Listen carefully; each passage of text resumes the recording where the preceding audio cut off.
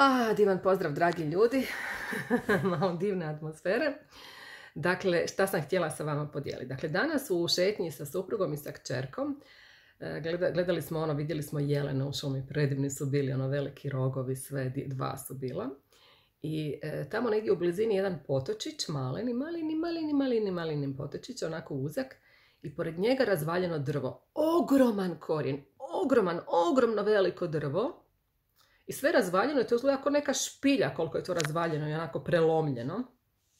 I e, odmah me to podsjetilo na usporedbu sa djecom. Dakle, zašto je to drvo palo? Zato što je imalo plitak korijen. Zašto je imalo plitak korijen? Zato što mu je u blizini potok. Dakle, imalo je dovoljno vode i nije trebalo pustiti dublje korijenje.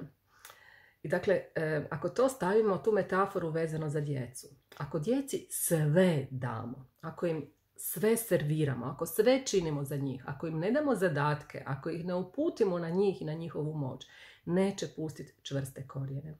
Neće razviti svoju unutarnju moć, neće razviti svoju snagu jer nije im sila, sve im je servirano. Očekivat će da im netko servira.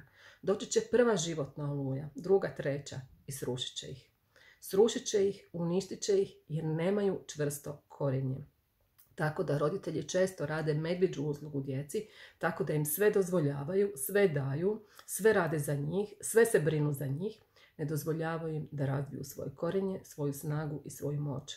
Dati djetetu podršku, savjet, ljubav, vrijeme, e, što god je super, to se traži, to smo mi dužni, ali činiti nešto za njega, pisati za njega zadaću, rješavati njegove probleme, e, za njega sve raditi, njemu sve organizirati, e, ne davati mu zadatke, e, rješavati njegove sukobe, stalno mu davati upute.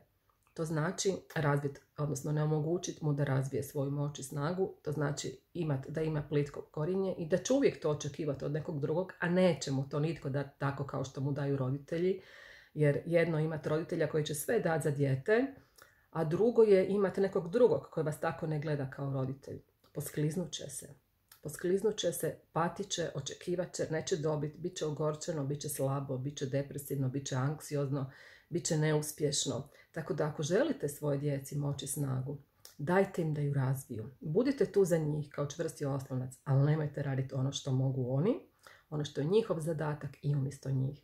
Jer time im niste prijatelj, nego u neku ruku čak usudila bi se reći, makar ružno zvuči, neću reći neprijatelji jer niste, jer ih jako volite pa ne možete biti neprijatelj, ali niste im od istinske pomoći, čak bih rekla da im na nekoj razini režete krila i osobnu snagu i moć. I koliko god mi volimo djecu i svi se uhvatimo u to da im želimo sve dati, sve ono što nismo mi, da ih želimo zaštititi, ali najčešće štiteći nekoga, u stvari mu ne omogućavamo da ima iskustvo, to ne kažem da ne treba štititi, da ne treba biti tu za dijete, ali znati razliku kada treba stati za njega, a kada mu treba omogućiti da samo bije svoje bitke. A to ćemo znati onda kada razvijemo odnos sa djetetom koji je baziran na povjerenju, kad ga srcem osjećamo, a za to je potrebno da provodimo s njim vrijeme, da s njim pričamo, da ga osjetimo, onda ćemo uvijek znati šta trebamo učiniti u kojem trenutku.